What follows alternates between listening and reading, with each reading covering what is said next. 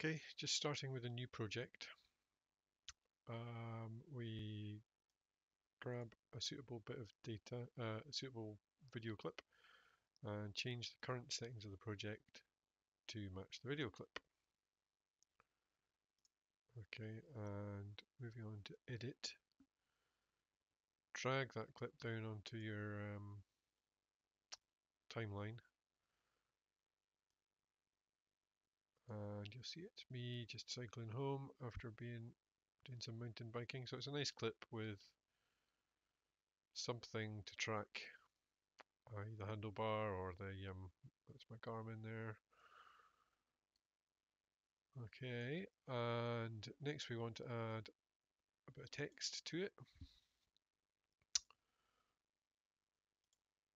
And test tracking just a suitable generic bit of text. I'm just going to drag this out to the length of the project. Now I know there's probably a shortcut to do that, but I don't know what it is.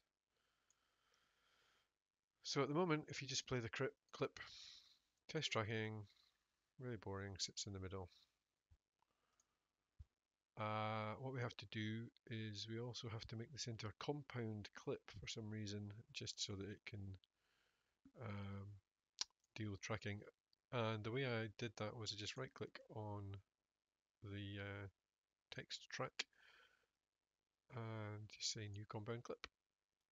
Call it something title, title, ah, title tracking uh,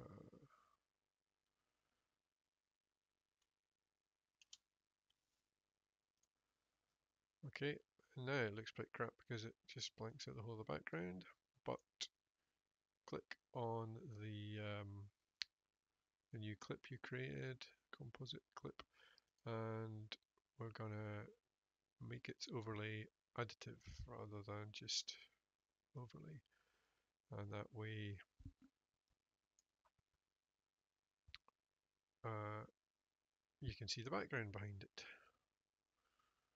Okay, all very good. Still nothing to do with tracking on this. So if we go into what's called color, where you can do all your effects and things. Now we've edited our clip. And with the clip we want to track, excuse me, um, highlighted, uh, and within the tracker window down here obviously you, it's other options but for coloring and things but we're just tracking.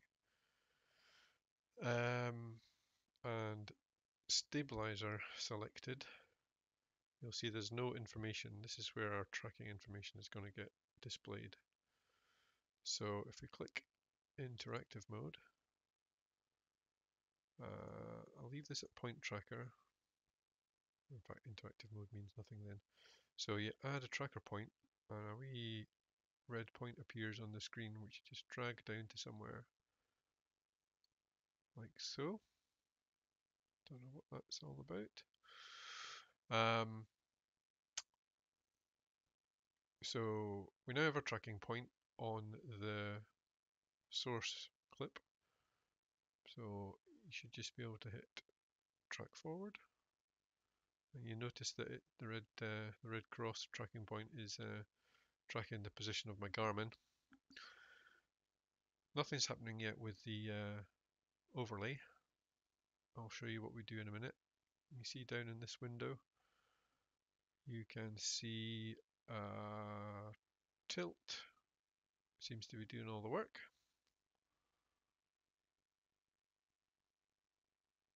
Uh, I'm not going to let it go for the entire length of the clip uh, because I've got other stuff to get on with. Oh, and it, it pauses occasionally, I don't know why. You just press play, it carries on.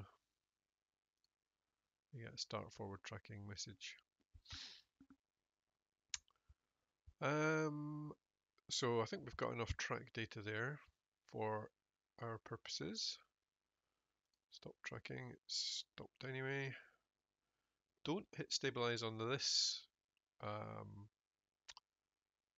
clip because we're not aiming to stabilize me on my bicycle, we're aiming to use that information to stabilize the uh, overlay we're going to work on now. So you click on the compound clip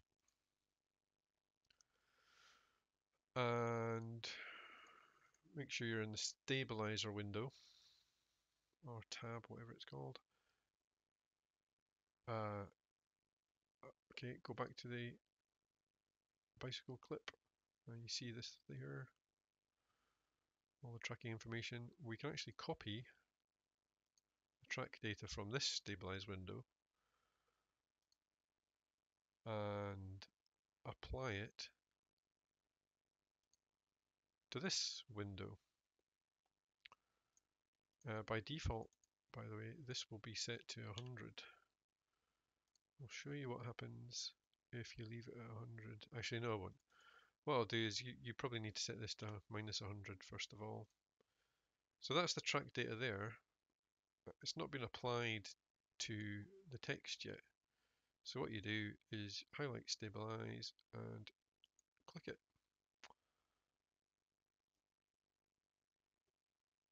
And then go back to the start of the clip.